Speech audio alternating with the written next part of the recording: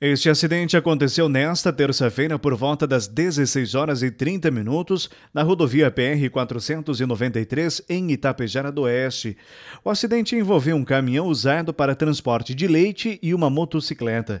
A colisão foi frontal, deixando ferido o condutor da moto. Ele foi atendido pelo SAMU com fratura e foi encaminhado para a casa hospitalar de Itapejara do Oeste. Quando a nossa equipe chegou no local, a vítima já havia sido socorrida. O caminhão estava vazio no momento do acidente.